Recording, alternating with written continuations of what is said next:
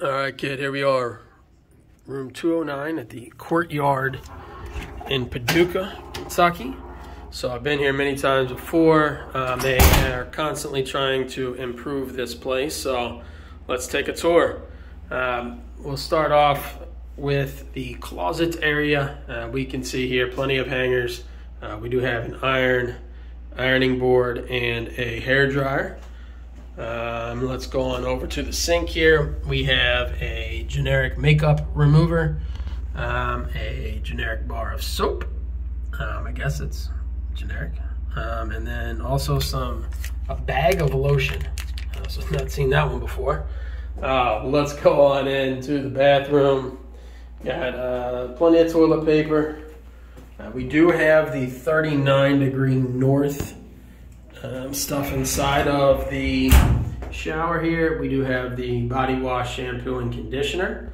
Um, the shower itself is pretty clean. Um, you know, not pristine, but certainly uh, pretty good. And then shower head looks pretty decent as well. It does uh, appear to have some different different settings.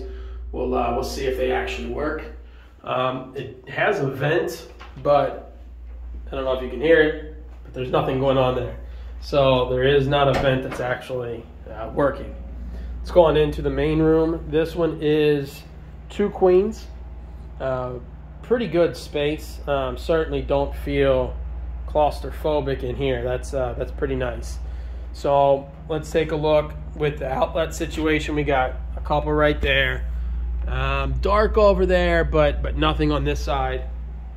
Uh, we do have the two in the middle, along with the uh, the USB outlets. Um, let's turn on the light over here as well. So we can see we do have two there. We have a phone outlet, and it looks like um, the two outlets are being used. I'm assuming one to provide power there, and then the other one to provide power with the uh, the lights. So we go over to the other side of the queen bed, and we do have one outlet there, as well as two up on top of this this light here. Um, we do have a little chair, so um, nice little sitting area. We do not have a pull-out sleeper sofa or anything, but again, there's plenty of of room if you needed to get a, uh, a cot or what have you. Um, outlets over here by the television. Uh, we do have some, as well as easy access to the uh, the HDMI hookups. I did uh, kind of laugh here. We do have, along with this this radio, uh, we do have a few inputs to charge the, charge things, and I'm guessing hook up audio wise to play out of this massive massive speaker here. uh, excuse me. Then the coffee, uh, the most unique coffee setup I've seen anywhere. Uh, we have two different decafs as well as two different regular and a total of four different brands represented here. Um, can't can't say that I've ever seen that before. Uh, so I thought that was uh, worth highlighting. Uh, but we do have the Keurig. Um, underneath, we have a microwave and a mini mini fridge. Um, that's got something in it, so I'm gonna go ahead and close that back up and not reopen it the rest of the day or the rest of my stay, I guess I should say. Um, television wise, we can see. Um, try to go down to the stream part. Uh, this is thrilling, right?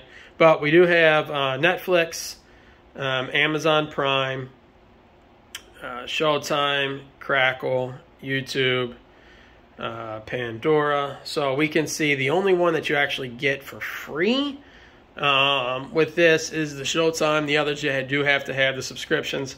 I think Crackle's free anyway, but um, and obviously YouTube is. But if you want to log on and access your stuff, uh, you will have to log on. So there we have it. The courtyard in Paducah, Kentucky. Um, new and improved. Look at this fancy, fancy wall decor there. But until next time, kid.